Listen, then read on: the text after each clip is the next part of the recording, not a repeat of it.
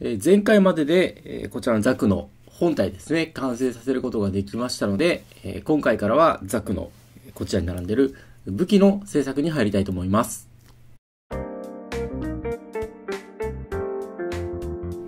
まあ、こちら、まあ、武器のパーツたくさん並んでるんですけれども、えーまあ、こちらに並んでるのは、えー武器、まずは、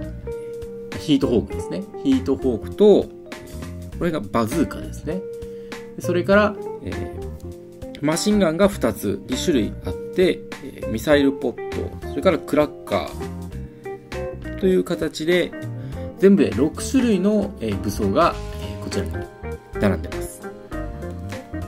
で、ちょっともう、あの、まあ、武器なので、えー一気に作っていこうかなと思いますので、えこちらのパーツ、え全部に墨入れをまずやっていきたいと思います。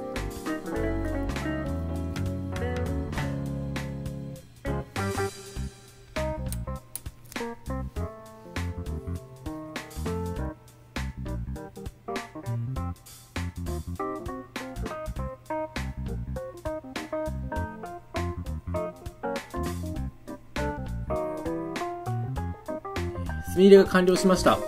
えーまあ、これだけの量のパーツで、さらに、あの、もうほぼ全部のパーツに墨入れをやったので、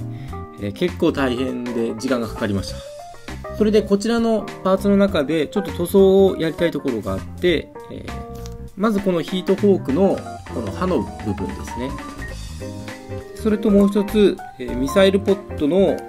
ミサイルの、えーこの部分ですね。後ろの、まあ、羽の部分。でこの2箇所ですね。2箇所といってもミサイルポットのミサイルは、えー、と、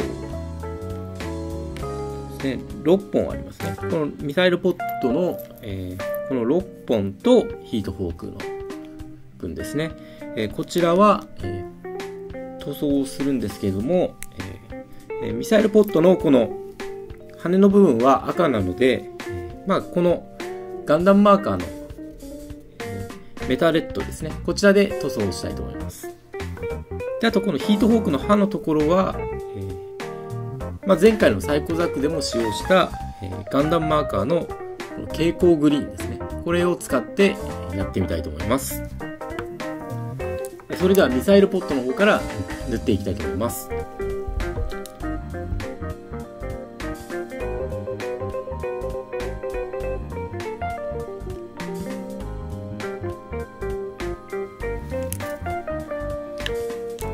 ではミサイルの方は塗り終わりました。あとはこっちですね。えーヒートホークの刃の部分塗っていきたいと思います。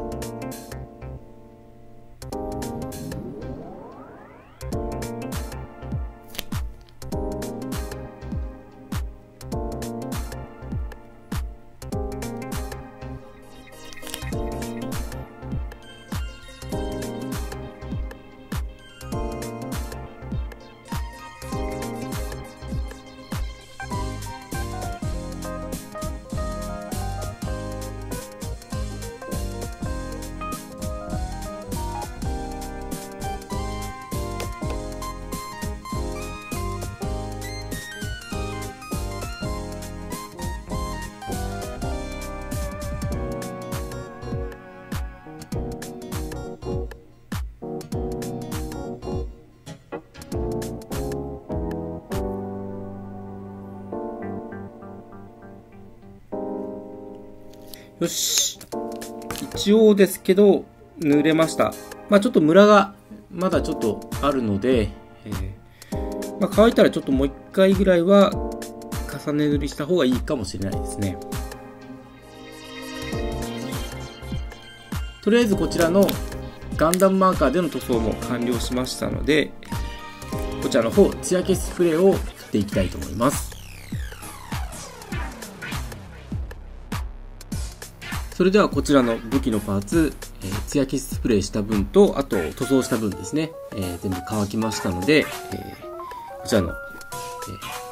ウェザリングマスターで着色しながら組み立てていきたいと思います。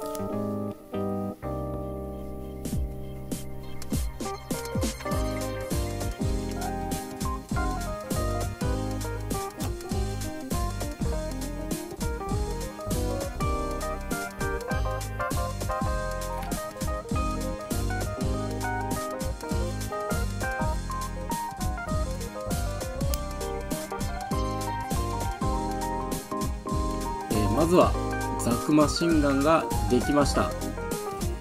このスコープのところのこの赤い部分がクリアパーツを、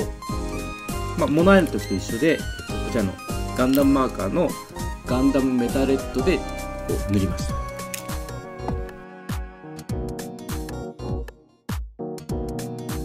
次も、えっと、マシンガンの方を作っていきたいと思います。